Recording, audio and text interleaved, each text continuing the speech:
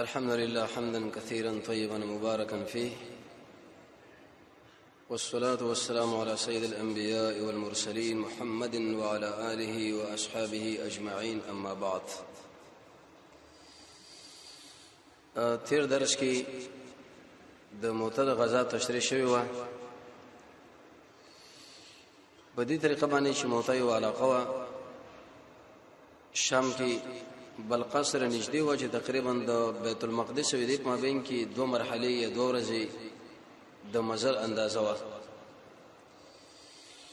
د جګړې سبب رسول الله دا بیان کړو د نبی کریم علیه الصلاه والسلام یو استاد حارث ابن عمر الازدی د د بصره دی ولی لور ولګلو په دې منځ کې شرحبیل ابن عمر الغسانی گرفتار کې یو سورج وسره قیدی او د غنی روسه به وژلو شهید کی چې کله دا شهید شو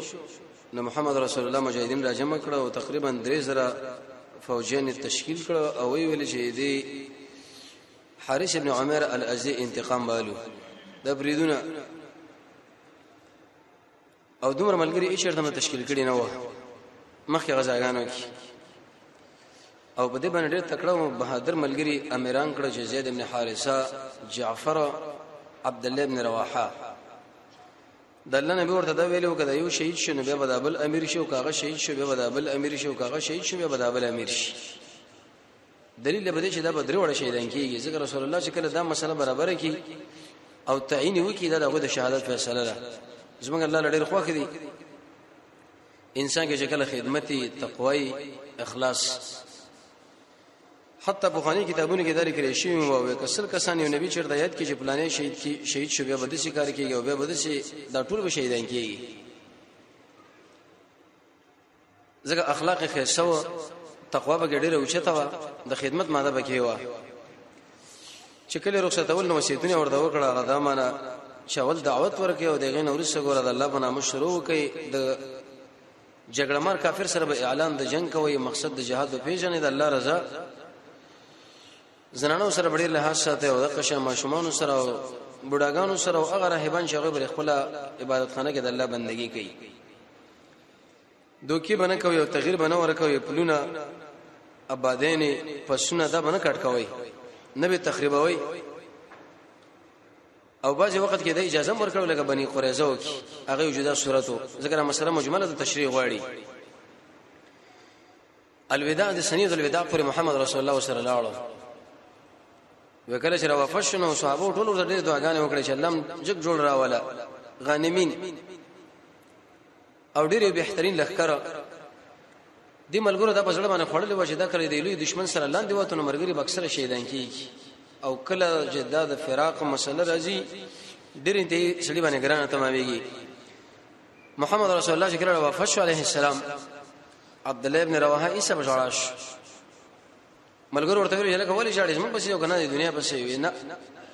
د قید می جړې شي و ان منکم الا واردها ایسو په تاسو کې نشه مگر به جهنم به ورځي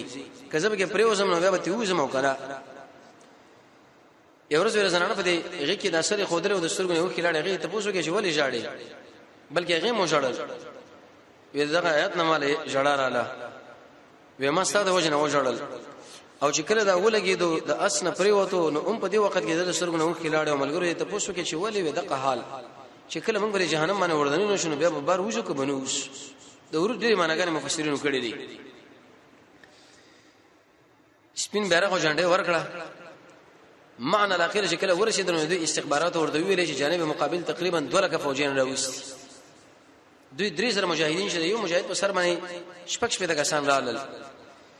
نو بعضی ملګری ویل چې په وردم ګو ورزو په ذکر رسول الله تشکیل کړي د روسکه کې شرطه او بعضی ملګری ویل چې نه من کومک نور غواړو عبد الله بن رواحه په ډېر ناشنا ترغیبي اشعار ویلې خو ملګری په ور کومند کړ او جګړه جوړه شو د جګړې نه مخکې چې کړه دوی بل سره مخامخ شو زید ابن حارثه پنځه تقسیمه د خپل ګروپ کې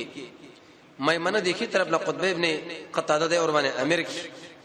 چپ طرف له عباد ابن مالک الانصاری مخکې طرف له شاسواران ولګل روسه طرف او د منځ کې قومندانان وو جانب مقابل سره تقریبا 2 لک خو پوجین هو لیکن 50 سره به کې اسونه و د سر نه ورانه بریدو کې عملیات شروع شو هغه تعجب هم کې چې دا کم کسان دي په موږ څنګه راځي ماکان پر جګړه وشو خدا زید ابن حارثه پر نيزو باندې دومره سخت وویل شو ته به دا ګمان کړو چې وسوځیدو دا شهید جعفر رضی الله جنډه لاس کې واخصه نو پنځه ورځې هغه تعرضات وکړ سار و جګړه و ماقام رخصت دل پنځه ورځ باندې په دې کې لاس اوله نه چپ لاس کې جنډه ونی ولا شغه اوله به په دې دوړ موټ کې ونی ولا وې دې لاسونو کې پیراتا وکړه دا ډېر ښه حال لې یو نصرانی د شاده خانه اوله نه ایسه شهید کی عبد الله بن رواحه جنډه واخصه نو اول د شلګ خبرت پیراغه خو شیرین ځان لوي ویلي جنډه کلک کړو جګړه جوړه شو دم بچ شهید شو ثابت البدری په نامه باندې بل ملګری و بوډا غش جنډه کله واخصه د ملګری ټوک تیت په ترک شو ابو رافی سے فرمای عبد الله ابن عمر او جعفر سے ابن جابر دمر غلی و وېزمن په دې ملګرو کې دومره پر غندګی را لشي دوه کسانه به یو جفات نشو وې دې ملګری جنډه واخصه وی ویل چې دا دې خورا شو دا والي وې زت څنګه امیر وینه ویلې خالد ابن ولید لمر اخصي هغه جنډه ته واخصه نو بیرته ملګری راجمع شونه هغه د شي طریقه وکړه چې د کی طرف پوجین چپ طرف لا چپ طرف پوجین کی طرف لا مخ کې ورسره کړه ورسره مخ کړه جنډین کې تغییر تبدیل وکي یو څل شاه سواران لوي چې تاسو بل لس کسان بدل علاقه مند راځي د تکبیر اوازونه بکوي په دشمن باندې یې رااله چې لکه دا خنور کومک راغی هغه له ماته ورکړه هغه به بیرته پوښتنه چې دا کومک نه دراغله مکه زړه ملګری خو تکتیک وکي جګړه هم کوله خالص ملګری مرسته کول جګړه هم کوله ورسره کولې تر دې چې مدینه منورې له مجاهدین ورسول هل ته خلکو بکانو ویشه چې تاسو راوته کته دی یو صحابي یو زنانه کور لمن پر خود رسول الله ویل وی دا کررون دی دوباره په دشمن باندې حمله کوي وانا منهم زمتیم د خالد بن ولید جذبه دغه شهامت دغه تکتیک د ملګرو تابعداري ذات معلومه شو د دې موتر غزان ورسته چې کم نن در شروع کیږي هغه دا چې رسول الله یو سریه ولېګل سریه د ابي عبیده ابن جراح درې سو مجاهدین ورکړه په دې کې تقریبا 1300 سواران و نجد الاخر ولېګل چې دا د بنی غطفان خاندان دلته اوسېدو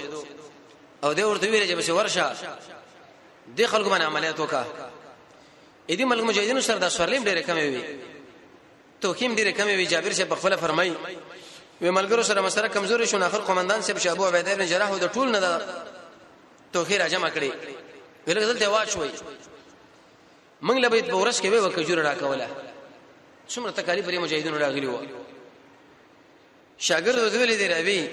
وی جابر صاحب تاسو به وی وکجوره باندې څنګه وخت تیرو ورته ویل شي ابو نه ازما بچی چې کله وی وکجوره بند شونه به مونږ ارمان کو چې کا شی وکجوره وی خو چې وسوي د دین د اسلام دومره تکلیف باندې راغلی دی ملګری وی وګم شو په دغه رقم باندې روانو د درې خور شرالو د غرغ دی مې پروت دی زمونږ الله را غورځولې دی بار دوی چې تاسو چې لکه دا خو مې دی نو خوراک ته شروع کې تقریبا اتل سره دې کې مجاهدین پاتې شو خوراکونه ته کول او په دیوازو باندې ځان غړول چې بیرته بدن نه کوي شو او زیات خوراک ته وګړي راغوخه ته وشم کړه شاوخه تر دې پوري چې بده کې او صحابي قیس ابن سعد رضی الله تعالی عنہ ډیر اوچته او دنګ صحابي دی ویغه د قومندان صاحب او عبید ابن جراح فوخه په اسمانه کینو او یو پخته دی مې وسره ودره ولا او نيزه پلاس کې ورکړې دی پاس سر پورې هغه نه رسیدو دومره دنګ د ریمې په دې سر کې تقریبا ډېر له صحابه کرام دا وردننه شو بیا په اضافه وا دومره لوی زمونږ د الله قدرت پکې معلوم شو د دې مجاهدونو کرامت ته معلوم شو چې زمونږ الله سره آشنا رزقونه په دې ځای کې ورګی شي الله بالکل د وبم درک نه لګي او دا د الله بهترین اولیاء دي متقین دا و شکل نه شي جوړ کړي او چې سړی دې له وګوري صلی الله علیه دیږي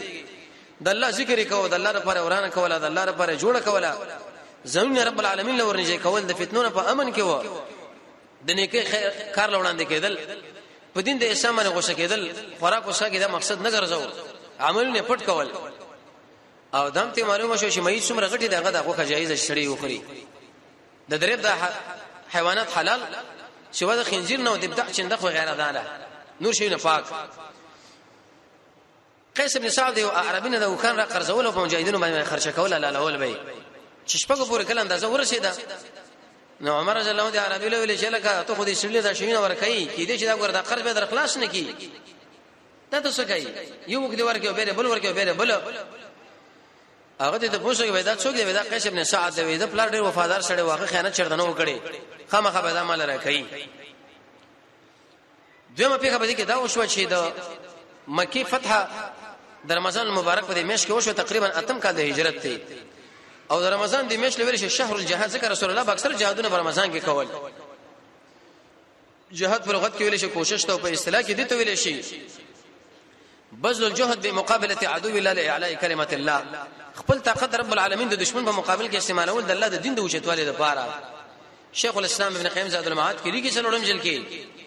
دیر لس اقسام د جهاد دي څلور د نفس سره دی په علم باندې دویم په عمل باندې دریم په دعوت باندې څلورم په صبر دو د ابلیس سره دی خواهش پرسی پر خودل او د قشن شکونه څلور د کافرانو سره دی په مال باندې په ژبه باندې په لاس باندې په زړه او دریم د عام منافقانو سره دی تندې ورانول او باغی باندې سختی کول او دغه سره تیزی تقریبا دا ډیر لسو اقسام د جهاد چې کله سړی راجمه کې دا ټول محمد رسول الله کې موجود و شهر الجهاد د جهاد مېش به ورته ویلي او سوره قصص کې رب العالمین ورته اشاره وکړه ویل چې اے نبی موسی علیہ الصلوۃ والسلام لاړو تقریبا اته کاله الس کاله فاغزه کې تیر کړ ته به مزي مدینه لا اته کاله الس کاله به تیرې بیا به بیرته ترازی زموږ رسول الله اکثر تشبيه موسی سره د عليه السلام د مجاهدونو تشبيه د بني اسرائيل سره او د فرعونانو تشبيه د ابو جهل تشبيه د فرعون سره او د مشرکین تشبيه د قبطیانو سره په موسی عليه السلام باندې تذکری او ډیر حالات راغلي او رسول الله رب الله تسلی ورکړه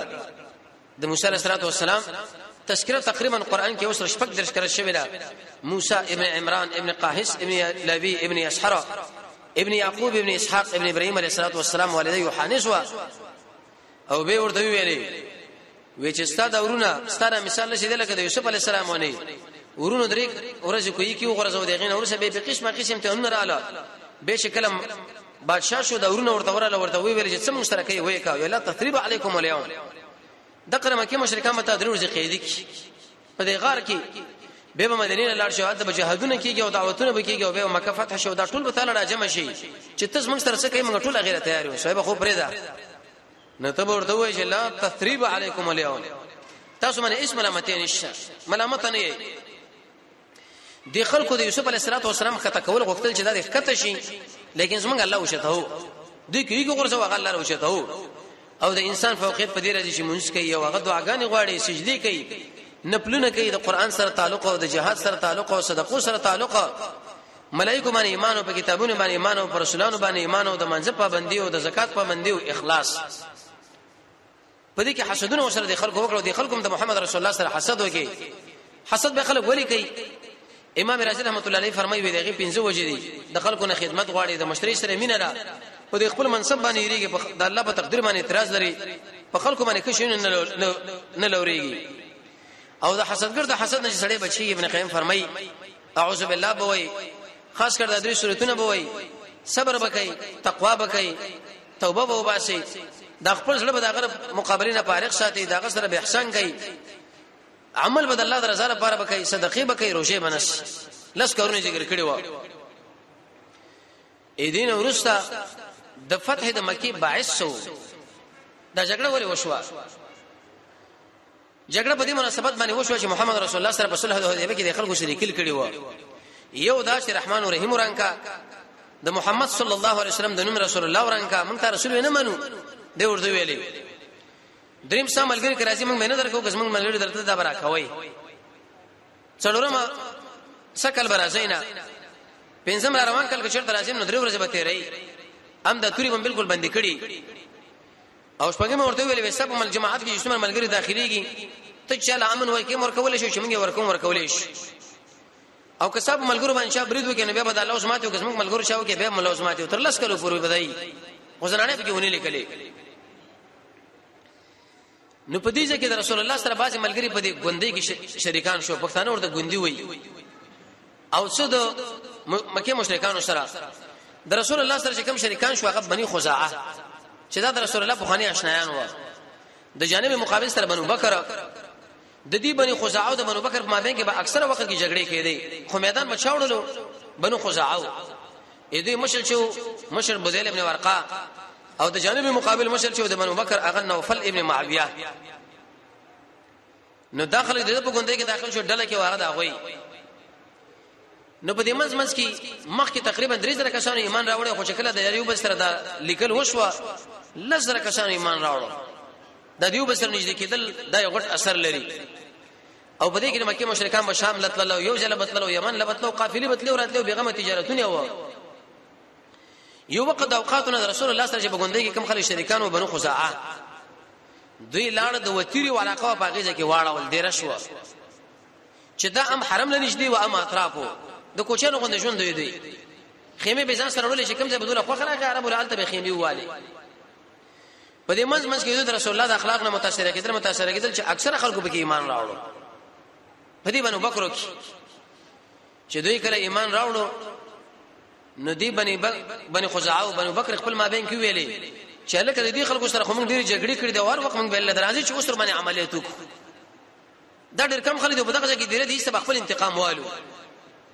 ولکه موږ خو لوزونه کړې دي اې دې بنو بکر چې کوم مشر هغه ورته ویلې نوفل ابن معاویه چې موږ لوزونه کړې دي کشران ورته موږ کړې دي لوزونه کړه لوز څه اعتبار دی دوی له گزار ورکول پکار دي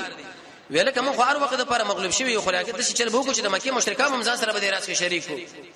مشرکان له ویل چې لکه موږ بدی باندې خزعه باندې حمله کو د خپل انتقام ته اخلو تاسو موږ سره بدی کې ډیر کومک وکړي هغه له موږ دا کار نشو کولای وجه دا ده چې موږ د محمد رسول الله سره د لس کار پورې لوس کړی دا تاسو سوې دا غوي ځان له جماعت د موږ ځان لوي نه خو به دې کې ځوانان شو هغه جذباتيان و یو د ماغوی ویل چې بس موږ تاسو سره بدی لین کې شریکی کو عمل په وکي اکرمه به ورغه صفوان ابن امیه به ور داخل شو سهیل ابن عمر چې د بالکل د موحدم لیکره ورسه به د ایمان راوړی ما ودا بنو بکر دوی د شي مسله کوله چې تهجد باندې ولاړو بنو خزاعه ځکه ایمان راوړو مې سره به تهجد وکي او تاجود لپاره مخکې هغه اسباب هم ویل شو چې خیلوله به یو وختي ود کېدل به د سورې کهف ورسنه ایتونه وای د ګنا نه بزان ساتي د دنیا په کار کې بزان ډېر نه سړی کوي زیات خوراک منه کوي مؤمنانو سره به کینې نه لري هغه ایتونه او حدیث ګوره چې هغه فضایل دي فضایل کې راغلي د سلف صالحینو تاریخ او د آخرت سوچ او د زیات اجماع نه ځان ساتل او د قشانه زمانی مالی جرمانه کې خود دعا کول مجاهده په تهجد چې کله ولاړ و نو دی بنو بکر سره د اتحادیه د قریشو په دی بنی خزاعه باندې عملیات شروع کړ درې کسان به شهیدان کړ په منځ ولاړ خلک درې کسان چې کله شهیدان کړه غوښنه کته خو بني بکر را له قریش مشره دي نو دا جنگ هم کو د شنجدي راتله ایسه په حرم را داخل شو حرم کې دا عادت چې کله بسړی ور داخل شو نو بیا به د خلکو الته قتل نه کول خو بیا به شي بار وجل او اشرین مې ویل چې لست اباله هنا اقتل مسلما على اي شق كان لله يا في الله مسرعي وذلك في ذات الاله وان يشاء يبارك في اوصال الشلم ممزعي د مکی مشرکان ګره مشرکان مو خو لیکن د حرم نه بار وېسو اکرام ساتو دیږي د حرم دا ټول علاقه چې تقریبا شپږ دشمنه جوړیږي کوم چې د حرم علاقه شګر چا پر راتاو کی اندازې کې دی ظالمانو په حرم کې ورسره جنگ شروع کی کافر انسانانو نو دې ملګرو ورته ویل دي قومندانانو لشه الحرم الحرم الحق الحق نوفل ابن معاویه لوي ویلي وې د خپل الہ غمو کا د خپل الہ غمو کا د حرم غمو کې د حرم غمو کې ورته ویل لا اله الیوم نن الہ ملاه نشتا الہ په خپل کار کوي د حرم بي عزتي ونن کول پکار دي خو انتقام والي او ورته وي تاسو نو ډي ګناهونه کوي غلاګانې کوي امانتونه کې دا کارونه کوي رشوتونه اخلي اوس موږ له بزرګانو ځان جوړ کړی دي حرم دی او حرم دی او الہ دی الہ دی د ډېر غلطه خبره وکړه وې د الله لحاظ مون بالکل ساتنه الله لب کې څوک دی لا الہ نن بالکل الہ شته نه خو جګړه شروع کړنه په دې وخت کې دی بن خزاعه چې دی منډه واخسته د بدل ابن ورقه کور له چې هغه د قومندانو رئیس وو دروازه چې کړه ټک ټک خوشو کې سر وختي هغه خلاص نه کړه ودبو شل کسان په دې ځای کې شهیدان کړه درې کسان هغه او شل دان درویش کسان سبا چې کله سپیده داغ لګیږي نو دې قریش ورته ویل چې لکه داخله خو سپیجنې چې خارش هر څړې بسنه نه وځي چې دوی کله خور را خور شو نو بس دا کسان د دې ورقه بدر ابن ورقه لوي ویلي وې دا خو موږ باندې باندې بکر حمله وکړه او پاګه کې دا قریش مو سره شریکان شو درې الته شهیدان کړو شل دا ډېر خیر خلکو عرب متصلي عمرو بن سالم الخزاعي دا شاعر دلې ویلي چې محمد رسول الله خورزان ورسوه چې اسې نه غلط څو غلط راپور پیش نه کی د دې نه دا خبره معلومه شو چې په یوځای کې بل چا کار وکړي د خپل سپېد لپاره وګوره مخکې د مخکې خپل کار کوي چې اسې نه غبه دې سین باندې ورته خواري ونی کې او سبب بار کې د ځین ګډ وډ نه کی وی عمرو ابن سالم الخزاعي شاعر مو او ډېر پتا دې باندې لاړو حتی تر دې پورې د سیرت کتابونو د لیکل دي چې د مېم نه کوله سر وختي وختي وته وی چې کله وته د محمد رسول الله خو ورغه هغه خپل ملګرو سره ناسو مسجد کې په شیرونی کې ورته خپل ګلی وکړه خپل عذرونه ورته ذکر کړه یا رب انی ناشد محمدن ایز ما رب وزن محمد لا یو پیغام میرا وړی رسول الله علیه وسلم مخکې زموږ شاسو وروري وا تاسو په موږ باندې نن کوو موږ په تاسو باندې نن کوو موږ ګور اسلام راوړو زموږ ملګری په تهجد مولاړو او به په حرم کې دي ظالمانو په موږ باندې برید وکي الته ملګری شهیدان کړو د حرم به عزت وکړو دلته شرک سره شهیدان کړستانه موږ کومه غواړو او د شو فوج موږ لراکا او د شو لخر موږ لراکا چې د درې غونې په دشمنانو ورشه موږ انتقام والو رسول الله چې کله دا شیرونه واوري دا عربو دا شیرونه ویلي ورته وی صاحب استا په مطلب زپوش بلکې رسول الله الله وهم کړي وای تر دې پورې عائشه رضی الله عنها ویل چې دا غشي مرشد تیر کوا د جهاد اصحاب برابر کړه پړي مړي یو ورځ ته ابوبکر پښتنه وکړه چې یا زما لوري دا څنګه د دې جنگ اسباب ته تیار رسول الله خو چرته جنگ هم نه کوي د رومینو سره جګړه لانی وخت پاتې دي حوازن سره پاتې دي د مکه مشرکان سره دزبندي کړي دا نو څنګه تیار هغه هیڅ نه ویل راس ډیر رازدار زنانه وا د دې وجنه مولانا عبد الباقی صاحب دې باره کې کتاب لیکلی حفظ الاسرار حدیث کې مرضی رسول الله فرمایي چې اقضوا حوائجکم بالیمین بالکتمان او کما قال دا خپل حاجتونه که تاسو غواړئ چې په دې کې پوره شي مقصد نور شي کې خلکو له وایي ما نبی کریم علیه الصلاه والسلام لږه ابوبکر ورته وی چې رسول الله ته د روم سره اراده د جنگ لري وینا د حوازن سره لري وینا وې د قریش سره لري وې او وې هغه خټس بندي کړي دا موږ هغه لس کړي لیکل کړي دی هغه د څه شکار کړي دی ښا دا ګور راځي چاله ونه وای په دې کې د دې بدل ابن ورقه یو دستم وراله وفد رسول الله له شکل ورل او آلته وسره کینه سو ویل یا رسول الله زموږ په دې ملګرو باندې د خلکو عملیات وکړه تهجد باندې دا ولاړ درې کسان آلته شهیدان کړه او شری دلته شهیدان کړه د حرم بیزتی بالکل وکړه خلکو ورته وی الہک الہک ولا الہ اليوم نن بالکل الله مونږ منو نبی الله وشته نه رسول الله ورته خبر بالکل درسره زبر تاسو کومک کوم زه به ان شاء الله مجاهدین درکم اې دې دشمنانو نه انتقام اخلو خدای یاد ساتي دا خبره زموږ شاوس ما بین کې په دې کې راز شي هیڅوک درنه خبر نشي د مجاهد سړي ګوره دارو مدار ټول پراز دي د شي بنې چې مهم ملګری سره خو الله شي دا پیژنې دا ډېر خطرناک سره دی سخت کارونه کړی دي هغه چې ابل ودا پیژنې وینا یاره ودا نو ابل ملګری ویل ډېر خطرناک دي دا پلانې ده نه بالکل چې څومره مهم سړی خلک د شي عادي خلکو له جوړ کې چې لکه دا خو څوک دیم نه د اسلام او د مجاهدونو تاریخ چې کله سړی ګوري هغه ټول فراز رسول الله فرمایي چې خپل حاجتونه به د کتمان باندې پوره کوي او دا دعا وکړه چې الله اې دې دشمنانو استخبارات شي دا تړاند کې وړاندې دا معنی چې بالکل موږ د حرکت نه پوي نشي وفد را روان شو ابو سفیان چې کله پوه شو چې پروګرام خدا رقم طریقه دي دې مسلې محمد رسول الله خبر شي قسم په الله هغه په درې زره کسانو باندې دوه لک کسانو مقابله کړې موږ ورته شي ورمیګونه په موږ باندې آمات راځي چې د شو د شوراو کو په دارنتو کې کین استاد څه کول په کار دی رسول الله څه ذهن منګ ورکو ټول کین استاد نو په دې مقام کې یو مرتد چې دا د نبی صلی الله علیه وسلم د وحی کاتب وګوره په دې باندې وزن سره یې پیدا کول پکار دی د رسول الله کاتب دی وحی او معاویه سی ابو مزر ابن ثابت هغه الحمدلله په ایمان باندې برقرار پاتې شو لیکن عبد الله ابن ابي صالح د رسول الله لیکل به کول اخر کې الله مرتد کی دوی ویلي ودا محمد صلی الله علیه وسلم ډېر قمقل سړی دی نعوذ بالله من ذلک وحی بچ څنګه وا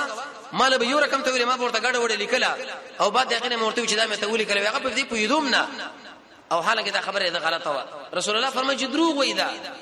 کوم خبره چې ورته د الله نبی کړي په مغه باندې په دی واځي خدای نو نور کاتبانه وو معاویه سے بجره من ثابت لکه اوس هم ډیر خلک دا وایي قران او سنت چې کله ورته بیان کیږي د قران او سنت کې من خو نه غنل مجبور شي سبب بل تر باندې لاړو او الته هم قرار ځان لولې و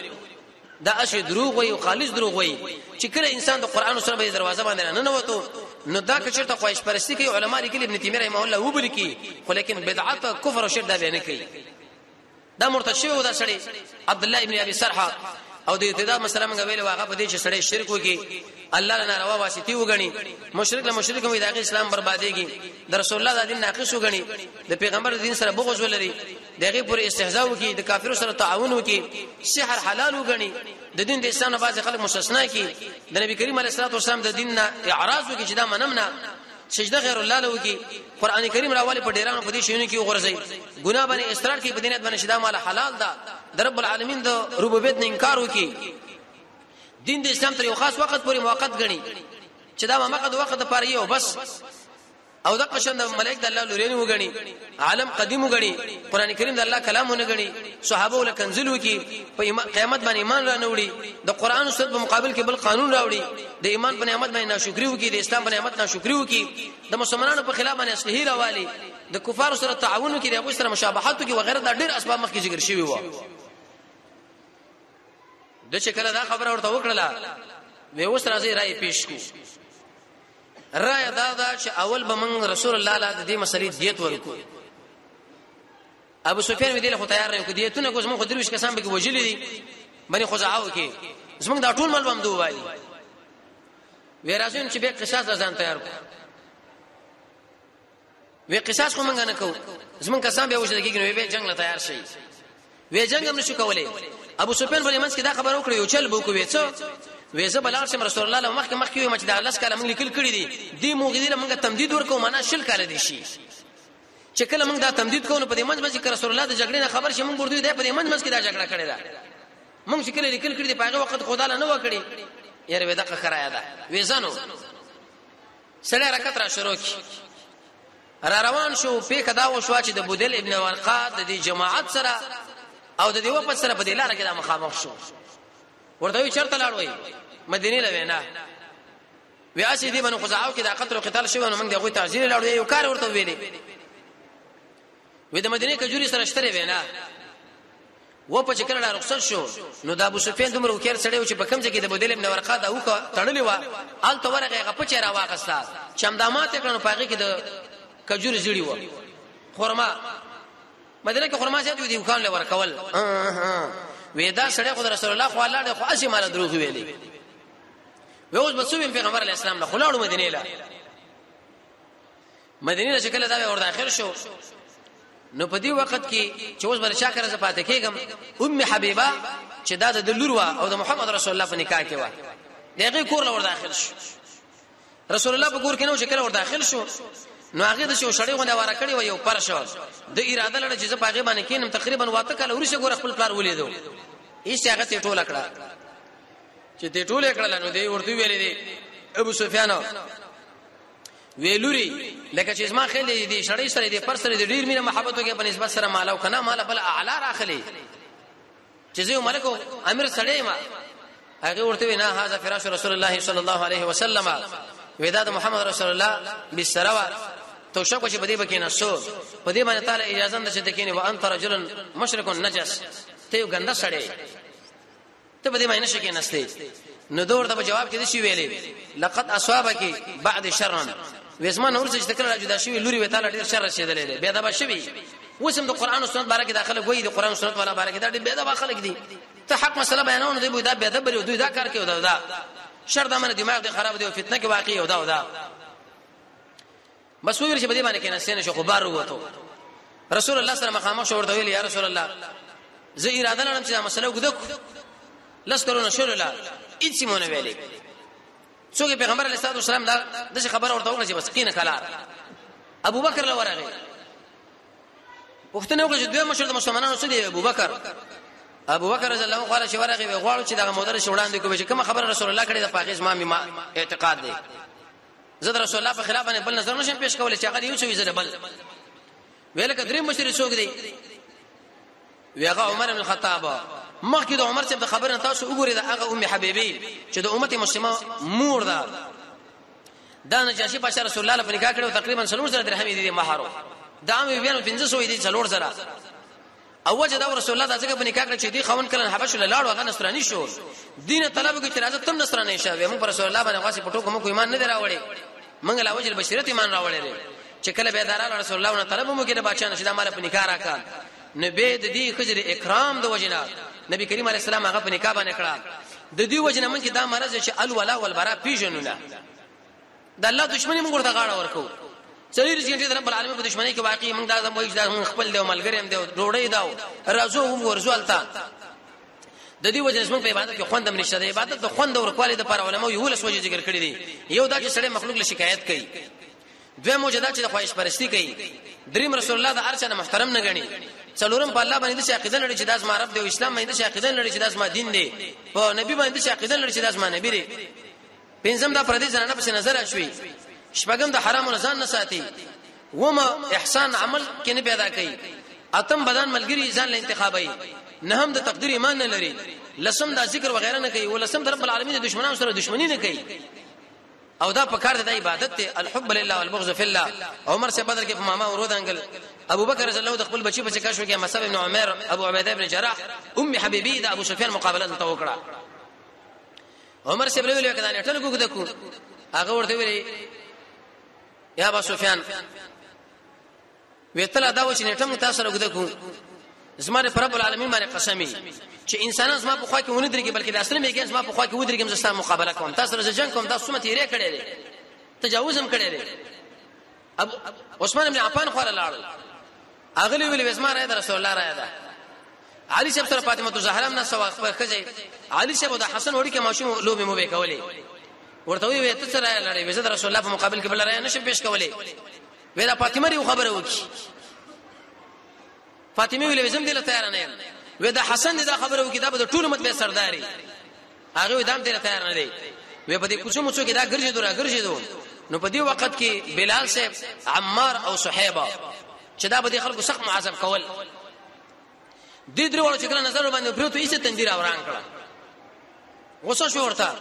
وی ویل چې سم تورې وی دي مشرک د سر له مشرک خلاص کړي او دا سر مون الته ورزولې وی دا مشرک د مدینه پرې کوڅو کې مګرځي را ګرځي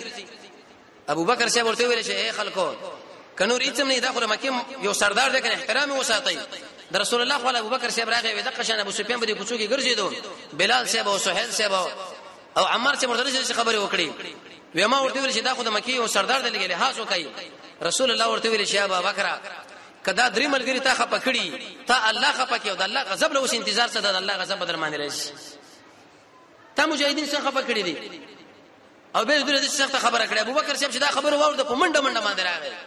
بلال په ځکه راجمه کې صہیب هم راجمه کې عمار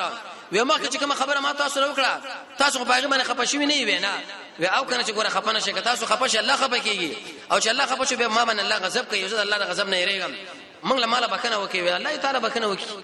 الله دې موږ لم بکنه وکي موږ الله درزاره پاره ته معاف کړي خو په دې وخت کې علي شه ورته ویل زه به تعالی خبرو کوم چې مسجد نبوي کې په خپل جګ شه د مانځنه ورسره د شیو واجب نه ټمه شل کاله وګدا کړه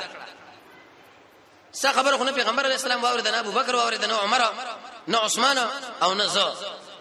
وې چې کله موږ کنه په خپل جګ شوې ویل چې ما دا نه ټمه شو ورګدا کړه هیڅ هم جوابونه کی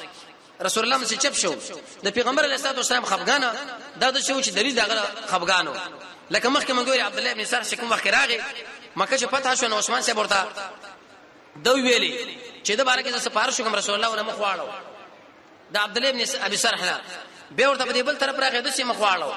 به په دې بل طرف راغی به مخواړو اخر رسول الله د حیات وجه الله اسمه ملګرو لوي لوي دنه چې کله ما مخواړو خو تاسو بر سر باندې والي او بدور باندې کړه عمر صاحب دوی ته موږ په سترګو اشاره کړې وي رسول د اشاره چاله نه کوي مصافه من مجبوریت د وجنه وکړه او مصافه باره کې موږ دا خبره مخکې کړې و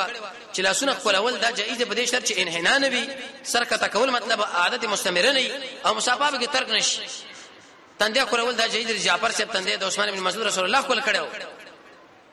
نبی کریم علیه الصلاه والسلام لا ابو بکر خپل کړو د سر خپل اول جایز دی عائشه رضی الله عنها رسول الله سر خپل کړو اسید رضی الله عنه رسول الله د تشه کول کړو خپل کولول څنګه ریو څنګه نه دی په غیر وایي باندې علماو کلام کړي یو دا چې دا عمل د يهودو دی دویم پاګه کې زنان د ام ابان هغه مجهوله ده دریم چې طبعا انسان د چا په خولې نو سر کته کې ودان روا رسول الله دا خبره ورته وکړه ابو سفیان لچ هاذا قول دا څه خپل وینا ده وې دی وخت کې دا راغی د مکه مشرکان ورته ویل وښنا چې لاړو سید صاحب څنګه چلو وی رسول الله لاړ ما غي څونه ویلې ابن ابي قحافه لاړم د نومي مرته غلط کی ابو بکر نومي وانا قصو ویغه ما څونه ویلې او ویلې زه پاګه څه خیر نه وینم وی عمر صاحب څه مسله وکړه ویغه قسمه دښمنی لبړ راوالي وی چې زما سره سره میګانې زه به تاسو باندې برید کوم علي شه مله دا خبره وکړه چې میدان لاړ شو په خپل باندې جماعت کې ودرېږو دا اعلان وکړ د مکه مشرکانو ځوانانو ورته ویلې وی ظالمانه دی علي شه صاحب د عقل باندې لوبي کړې دي منا پرې چې په شرم باندې مشر میګه ته خو سم مشر مولې نو نورم د مکه مشرکانو په دې ځړ کې د رسول الله روب را پرې وته چې کیږي بچا